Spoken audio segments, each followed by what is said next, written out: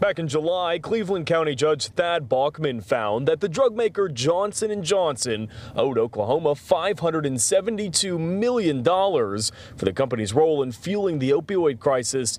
But later, the judge acknowledged that he'd made a $107 million error in calculating that first decision. I acknowledge that the, the computing error contained in my August 26 judgment.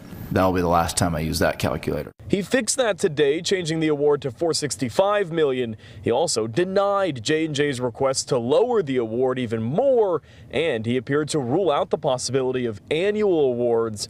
AG Hunter has told me in the past that this money will make a big difference. We're going to be able, in a very comprehensive way, uh, to provide relief for any family, for any individual uh, who needs help. The AG's office saying on today's decision, quote, it's a lengthy document. We're thoughtfully and thoroughly reviewing it and will respond in a timely manner.